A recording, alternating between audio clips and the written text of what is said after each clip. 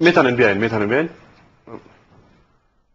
امروز هم طبق معمول دیرتر آمدین چون من نو بجه برای شما گفته بودیم که برنامه شروع میشه. شما گفتین که شما گفتین که نو بجه من تشریف میارم نه نه نه.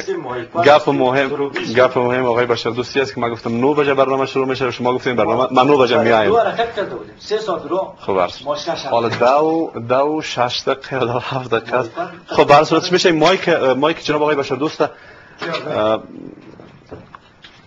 ما در کابل و خان نیستیم در جایی که زندگی کنیم. ما بریم بین مردم در کوچه و بازار کمپین می‌کنیم. کار ما یک رومانان نکنیم. یک کلیشای نگفتیم از ساعتی دو بجه خب بر ترتیب برنامه ما منتظرتان بود. و بیننده ها به حد زیاد تلفن کردن و همه منتظرتان بودن. که ساعت 9 بجه می آمدین و نیم ساعت برنامه ما نیم ساعت و 10 دقیقه برنامه ما فکر کنم که ضایع شده و ما 20 چند دقیقه خود داشتیم 22 23 دقیقه خود داشتیم. به هر صورتش بس آغاز می‌کنیم. یک چیزی که در قسمت اظهارات برنامه مناظره شما روز پنج شنبه آقای بشر دوست گفتن که حکومت فدرالی نمی‌تونه که پاسخگوی مجموع نیازمندی های مردم افغانستان باشد. یک مثال حکومت پاکستان دادن که فدرالی هستن. اما وضعیت بسیار متشنج است نسبت به ژاپن که حکومت مرکزی است. دیدگاه شما در خصوص نظریات آقای بشر دوست چی است لولو گپا هست مجموع گپا رو باز میشه ما پلی بکنیم. من گفتم که هیچ سیستمی کامل در دنیا وجود نداره. نه فدرالی نه پارلمان. یک نقطه دیگر هم شما اشاره کردین گفتین که وقت وقت ما تو حکومت ملک الطوایفی در اینجا حاکم بود به خاطر که نمی‌تونه که هر ولایت مثلا شما اجازه میده سیستم فدرالی نواقص خود داره نقاط مثبت خود داره. سیستم متمرکز نقاط مثبت خود داره نقاط منفی خود داره. کسایی که حقوق می‌فهمه کسایی که شنده یک دلیاباد چهار است او حساب جداست. بنابراین مثالی که ما درباره مسئله که زدم این بود که یک نفر اینا گفتن که در دنیا اکثر کشورها فدرالی است من جمله گفتن 70 کشور. گفتن خب شما هنوز نمی‌فهمین که در دنیا چقدر کشور است. بعدی مثال زدن پاکستان. که کشور خوب است فدرالی است پاکستان سب کشور اون می‌بینه. بنابراین ما ایره گفتیم که در افغانستان سیستمی می‌تونه که موثر باشه که در رأسش یک نفر پاک صادق خودن دوست باشه. به نظر جناب آقای بیژن جوره میشه. ما فکر می‌کنم که اول آقای بیژن به ما بگه که سیستم فدرالی چی هست. دوست بسیار حکومت فدرال اجازه بدین که. یک دفعه مردم بفهمه که حکومت فدرال چیست. بسیار عزیز ما شاید از روی احساسات تشخیص نکرد که پاسخ ما در اون سوال چگونه بود. اولا که من نگفتم که حکومت فدرال من خواهان حکومت فدرال هستم یا من گفتم که یک مدل نظام سازی در جهان موجود هم نظام فدرال است. ممکن است که یک گزینه باشه برای بیرون رفت از معضلاتی را که ما در داخل کشور داریم.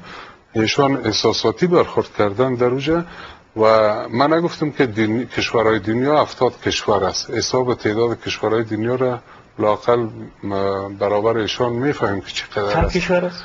و حدودا هفتاد کشور یا نظام مطلق فدرال است در جهان یا شبیه فدرال است. شما می‌دانید که فدرال از لحاظ شکل از لحاظ فرم ساختاریش دو سه نوع فدرال مطلق است. و اونا باز هر کدامش دارای خصوصیات و ویژگی های خودش داره از لحاظ ساختاری برحالت آلیا من یه گپ می‌زنم. آلیا ما سر چیزی که گفتیم کاملا تاکید می‌کنم. در همسایگی ما پاکستان فدرال است. وضعیت سه روزش هم ما نظر نگیریم. حدودا 50 سال میشه که در پاکستان 60 سال. آقای بیشتر تاریخ نمی‌فهمید. 60 سال. بیش از نه 50 سال. شما زیاد احساساتی برخورد می‌کنید ولی بسیار مزایایی داشته در کشور پاکستان فدرال. حقیقتا وقتی ما پاکستان بررسی بکنیم و یا مثال دیگه که ما امریکا را دادیم امریکا هم در زمانی که فدرال ساخته شد در اونجا جامعه بردهداری بود. زنها حق رای دادن نداشتن. ولی امروز به قدرت اون ما شما می‌بینیم تعریفی که از امریکا وجود داره همه ما می‌دانیم که چگونه است. به هر حالت ما بازم یک بار دیگه برای دوست عزیز میگم که تشخیص از روی حساسیت ممکن است سوی تعبیر به وجود بیاره. فقط من گفتم که یکی از مدل های نظام سازی در جهان شما گفتید یکی از مدل های خوب نظام سازی در جهان است. نظر آقای بشردوست جویا میشه.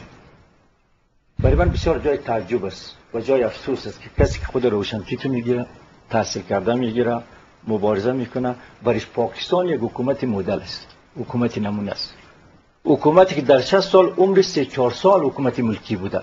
و غیر از همیشه حکومت نظامی بوده. کودتا ده کودتا. او آقای بیژن تو خبر داری که پنجابیا تمام ایالت های پاکستان کنترل می‌کنه حکومت می‌کنه؟ برای من این جای افسوس است. از طرف دیگه برای من یک دفعه بگو که امی وظایف حکومت فدرال چیست؟ وظایف حکومت فدری چیست؟ کم رو من بفهمم که تا چی حتی تمیز می‌تونی باید آقای بشر دوست ببینین اولی که ما مخالف برداشت شما هستم. شما باید به این نکته نگاه بکنین که پاکستان در مدت همونطوری که شما فرمودین که 60 سال در مدت 60 سال چقدر پیشرفت کرده؟ شما 60 سال پیش پاکستان آگاهی دارین که در چه وضعیت قرار داشت؟ در اونجا لاقل نظام اقتصادی پاکستان یکی از به نظام نداره. 20 سال میشه که تمام دلارای دنیا در پاکستان سرازیر می‌شد که شوروی شکست بدن. تمام دنیای آزاد دار و ندارش تا حتی امروز در پاکستان سرمایه گذاری می‌کنه. او رو که احمق و جاهل می بودم حال پاکستان. من متاسف هستم من متاسف الان که من از مایپر آمدم پاکستانی ها رو من دیدم که پایلوچ در موتر باربری اونجا نشسته بودن صحبت می‌کردن. از کدام پیشرفت بند فقط این این این می داره کنیم میلیارد دلار سالانه برش میده آمریکا. وقتی که آمریکا جامعه غرب جامعه جهانی دنیای آزاد به اصطلاح علیه شوروی بسیج شد تمام دار و ندای خود سر پاکستان سرمایه گذاری کرد. حالی خبر داری که پاکستان از وضع اقتصادی در چی حال است؟ امی الان می‌تونی به من بگی قرضش چقدر است؟ امی الان به من می‌تونی بگی که اگر تروریسم به عنوان وسیله تجارت توسط پاکستان استفاده نشود و از شکستی اقتصادی پاکستان صد درصد حتمی است و او قرض خود داده نمی‌تونه. ولی بالاخره یک چیزی که آقای بیژن یکی که ما میگیم دلیاباد شار است. این خود درست. یک چیز که ما یک چیز تحقیق می‌کنیم بررسی می‌کنیم. اگر من از بپرسم که وضع اقتصادی بحث پاکستان بگذاریم چون وقت برای ما کم است. آقای یک لحظه یک لحظه یک من من می‌خوام از آقای بیژن بپرسم که صلاحیت های حکومت فدرال چیست؟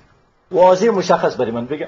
ببینین با آقای بشر دوست اول ای را برایت بگویم که یکی از خوبی هایی که نظام فدرال داره در تمام کشور اجازه بدید من برمیگردم. من اول برای که ما ما من اول میگم که بگم من شما رو متوجه بسازم که شما یک تشخیص خود خوب پیدا بکنین یک تشخیص واقعی بینانه از فدرال پیدا بکنین. آقای بشر دوست میریم به نوبت به نوبت حکومت فدرال چی صلاحیت داره و حکومت فدرالی چی صلاحیت داره؟ اگر اگر چون حالا شما دوتان کاندیدای ریاست جمهوری هستید شما خودتان می‌تونید چیزا کم باید بحث صورت بگیره به نوبت اگر بحث بکنین چون بیننده هم بفهمن که بحث چی هست. میشه وقتان بتین باز میریم سر موضوع دیگه که وقت ما کم مونده. ببینید یکی از تجربه هایی که ما از نظام های فدرال گرفتیم یکی از خوبی های نظام فدرالی است که مردم مستقیما در قدرت سیم میشه. مشارکت مردم در قدرت. اجازه بدین شما اجازه بدین. برای من یک بگو که انتخابات ریاست جمهوری آمریکا انتخابات مستقیم است یا غیر مستقیم؟ همین رو برای من بود انتخابات رئیس جمهوری آمریکا مستقیم است یا غیر مستقیم؟ خب بالاخره خو امریکا هم کشور فدرال است و در بج آقای بج بسیار تشکر از اردوی میریم سر مسئله دوم بحث مذاکرات با طالبان. یک نقطه یک نقطه برای من اجازه بدید. یک نقطه یک نقطه. موضوعات دیگه هم فوکس باید 99 درصد افغانای تحصیل کرده ما یا غیری ما که فدرال و فلان صحبت می‌کنه امروز پرسان کنی که رئیس جمهور آمریکا مستقیم از طرف مردم انتخاب میشه یا غیر مستقیم. من دست قطع می‌کنم که میگه مستقیم تشکر تشکر بسیار نداره. نظام فدرال نقایص خود داره آقای بشر نقاط مثبت نظام متمرکز نقایص خود داره مهم مانده که سر از هم بحث صورت دیگه